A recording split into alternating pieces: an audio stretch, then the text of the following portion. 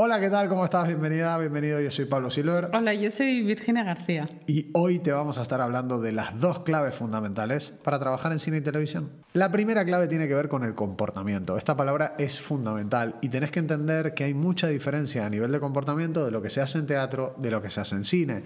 En teatro, el actor, el artista, cuando está interpretando, se encarga de mostrar, de enseñar, de proyectar, de que te vean los de las filas de más atrás, de mostrar lo que te está pasando. Entonces es comportamiento más mostrarlo. En cine, si tú intentas mostrar, o lo que le pasa a muchos actores que vienen mal entrenados, es que intentan mostrarle a la cámara o adaptar lo que muestran para la cámara, pero la cámara en realidad es un testigo que logra ver lo que te está pasando. Entonces, la clave a nivel de comportamiento, tenés que tener en cuenta que no hace falta mostrar. Sí, si no el acting es un poco este acting explicativo, este acting de estos actores que no te gusta porque es como que te, te está dando una lección, cuando en realidad si simplemente está en esa naturalidad es, es como que te atrapa. ¿no? Sería más dejar que te vean que andar mostrando. Hay un ejemplo buenísimo de Gary Oldman haciendo la interpretación de Winston Churchill que se llevó, creo que se llevó el Oscar o el Golden Globe. La cuestión es que está eh, eh, lleno de prótesis, porque realmente es, eh, le ves si es Winston Churchill, no es Gary Oldman, pero su acting está lleno de sutilezas.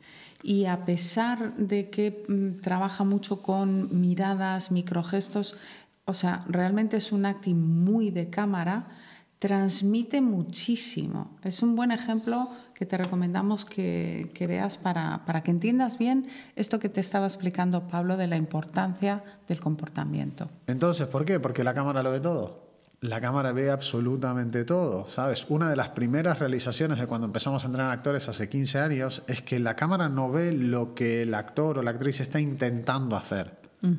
Es decir, intento estar mm, con, no sé, triste, por ejemplo. Lo que se ve es que estás intentando estar triste. No ve lo que quieres hacer, ve lo que estás haciendo. Repito, no ve lo que quieres hacer, ve lo que estás haciendo. Entonces, a nivel de comportamiento tenés que entender esto, lo tenés que tener presente, porque si tú intentas mostrar algo, el espectador ve que estás intentando. No ve lo que quieres mostrar, ve lo que estás intentando mostrar. Entonces al final se ve sobreactuado, se ve con, mucha intención, con mucho manejo, con mucho control. Básicamente se ve actuado. Entonces el comportamiento, como estás viendo, es una clave fundamental porque cuanto más genuino, cuanto más eh, naturalista, cuanto más realista, todo este tipo de adjetivos que sea, mejor va a transmitir, va a ser más claro, va a ser más directo, va a ser más interesante. Y es el tipo de comportamiento que buscan los directores eh, de casting para conseguir actores que tengan técnica actoral de cine y televisión. Clave número dos lo que tienes que tener claro que en cine, en televisión, frente a la cámara, lo único que se va a ver, lo único que va a hacer que esa emoción pase de donde estás grabando el set de filmación al espectador, al corazón del espectador, no es lo que tú sientas. Es lo que te mueve, lo que expresa tu movimiento, más toda la visión, obviamente, del director, la música, la puesta en escena, el color, la fotografía. Pero al final, desde tu trabajo a la emoción del espectador, lo que hace el puente es lo que te mueve, tu comportamiento, tu microgestualidad, tu movimiento, tu tono de voz, nada más. Lo que tú sientas queda en el set de rodaje. La cámara va a detectar, aunque tú no lo quieras o intentes evitarlo o intentes mostrar, la cámara va a detectar exactamente la emoción que tú estás expresando a través de tu comportamiento.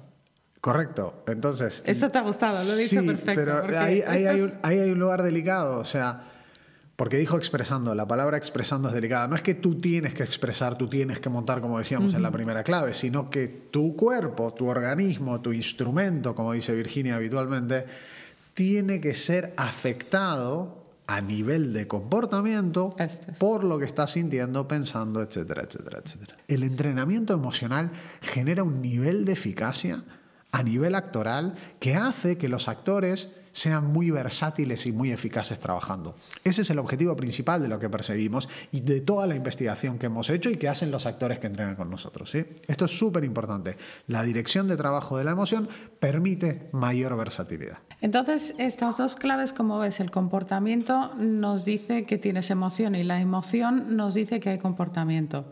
Entonces, ¿cómo hacer esto? Porque, eh, como ves, la cámara te va a pillar. Si no estás con el comportamiento adecuado, no vas a llegar a la emoción y si no estás con la emoción adecuada, no vas a llevar al comportamiento.